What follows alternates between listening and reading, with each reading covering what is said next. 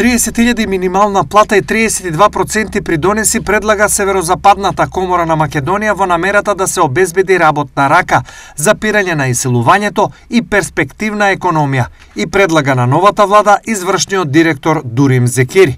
Барањето на Стопанска комора на Северозападна Македонија е придонесите кои од минималната плата изнесуваат 47% се прогресивни, да се намалат на 32%, но минималната нето плата да биде 30.000 денари, што значи дека повторно ќе се плати истата сума на придонеси, со што нема да се оштети буџетот на државата, но во меѓувреме ќе креираме услови за подигање на моралот кај нашите вработени. Вели Дурим Зекири. Според Зекири, многу компании компании на работниците сега исплаќаат пари на рака, а со овој концепт праксата сега ќе се формализира, па компаниите парите ќе ги исплаќаат легално. Дали овој предлог е реално можен и прифатлив? Мислам дека во овие услови тоа тешко е остварливо, иако секој работодавач сака пониски придониси овие проценти што и кажал колегата се на база на нето плата.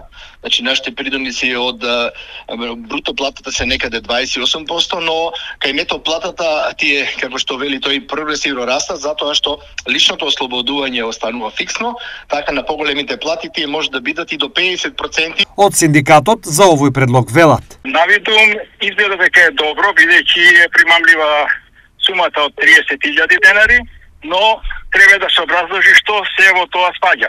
Бидејќи ако е минималната плата а, 22 цирка и 500 денари, мислам дека ова е примамлива сума за а, вработените, но треба да се разгледа подетално што од тоа а, може да придонесе за понатамошниот битоци од платата.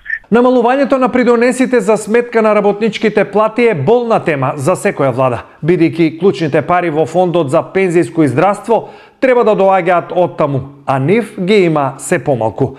Дефицитарниот кратер се шири, а овде се и очекувањата од по 5000 денари линеарно зголемување за пензионерите.